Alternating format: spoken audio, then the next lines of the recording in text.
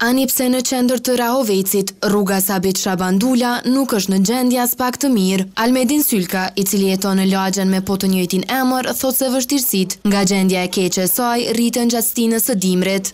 Shihet gjendja e tmerrshme, tani edhe dimri që është, është akulli, është rrezik, sepse edhe këtu është, nuk ka Nuk është edhe muri, është rrezik edhe edhe për neve si qytetarët e kësaj lagje që jemi këtu. Të preokupuar nga i njëjti problem shprehen edhe banorë të tjerë, teksa shtojnë se përpos mosasfaltimit kanë problem edhe me kanalizim. Ne jemi ngushtë edhe për kanalizim, kanalizim s'kemi, ajo është ma e nevojshme sot për sot.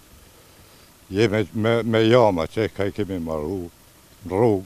Jemi pa kanalizim edhe po lipim prej komunës Për me na çel kanalizimin, kemi nis këtë kohë të dimrit për me çel pusetat.